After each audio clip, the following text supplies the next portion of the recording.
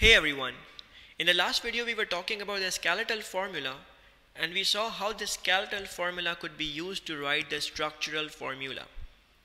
We saw that the functional groups should be written completely and that the other carbons and hydrogens of the main alkane chain should not be written, we don't write them.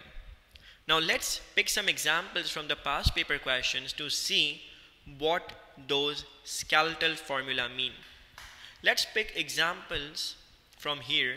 It's a question from the past paper. We are not solving it. We are just looking at the structural formula. You can see there's an OH here. So it means this is not a carbon. The carbon starts from here. This is carbon number one. Let me zoom in. Then you can see there's another carbon number two, a carbon three, and a carbon four.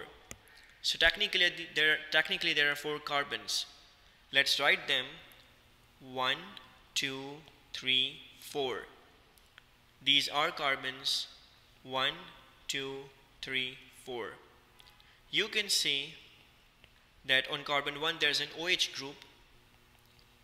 On carbon 1 there's a double bonded oxygen. On carbon number 2 there's another OH. Carbon 3 has another OH. Carbon 4 has also OH plus it has a double bonded oxygen. What you should notice is that carbon number 2 and 3 also have one more hydrogen each because their bonds were not completed. And by the way, this is the longest chain of this structure. This is a four carbon chain and these the blue ones are the functional groups or you can call them non-carbon atoms. Let's pick one more example. You can see this structure. I'm zooming in you can see that here we got carbon number 1, carbon number 2, then there's a 3, 4, 5, 6, there's a carbon 7, carbon 8, carbon 9 and carbon 10. Let's draw it more carefully to complete the structure. I want you to understand how skeletal formula are actually written as structural ones. So carbon 1, then 2, 3, 4 at the bottom, then 5th carbon, 6th, 7th, 8th, 9th on left, 10th on the right side. I'm numbering them. Carbon 1, 2, 3, 4, 5, 6, 7, 8, 9, 10.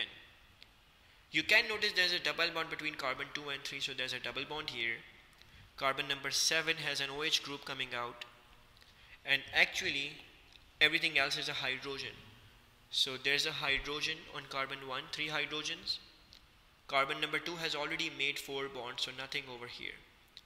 Carbon 3 already has made four bonds. Carbon 4 has two more hydrogens because two bonds are done. You can see there are two bonds of carbon 4 the other shoe should be hydrogen. Carbon number 5 also has two hydrogens. Carbon 6 also has two hydrogens Carbon 7 has all the other bonds complete, so there's no hydrogen. Carbon 8 has one more hydrogen. Carbon 9 has H3. Carbon 10 is H3. This is the whole structure. Let me pick a yellow pen. This is your main carbon chain like this, including the double bond. This is your main carbon chain with all the hydrogens and carbons. Let's pick this structure you can see that there is carbon 1, 2, 3, 4. This is also a carbon but it's a branch. Let's draw it. Carbon 1, carbon 2, carbon 3, carbon 4. Carbon number 1 has nothing so it's H3. Carbon number 2 has OH at the bottom Carbon number 3 has nothing, so H2. Carbon number 4 has a double bonded oxygen and one more OH at the bottom. So, but we can notice that carbon number 2 also has a branch coming on top. So, a carbon branch is always H3. So, this is your main structure.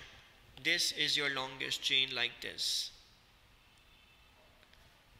Over here, this is a chain, this is a functional group, this is another functional group. So you should be able to figure out the structural formula using the condensed or skeletal one. let's do this one. Starting from the right side I can notice there's one carbon two three four five six seven and then 8 9 10 11 12 13 I want you to figure out this structural formula. So carbon 1 on the right. 2 3 4 5 then 6 is at the bottom. 7 is there. Carbon 8 is the peak of the chain or the cycle sorry. Then there's a carbon 9 10 11 and then 12th one. 12th one is on the top 13 is also top.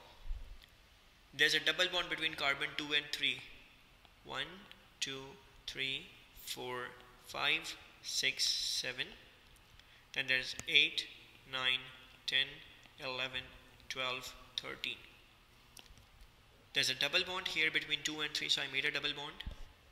You can see on carbon number 4 there's a double bonded oxygen. You can see there's a double bond between carbon 5 and 6 between carbon 10 and 11 you can put in the other hydrogens like carbon 1 will have 3 hydrogens carbon 2 will have only 1 hydrogen. Carbon 3 will also have only 1 hydrogen. Carbon 5 has already 4 bonds you know. 1 2 3 4 so carbon 5 doesn't need anything. Carbon 6 is already done with its bond. Carbon 7 has 3 hydrogens.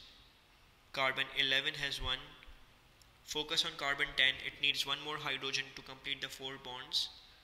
Carbon 9 will need two hydrogens carbon 12 and carbon 13 will need 3 3 hydrogens to complete their bonds.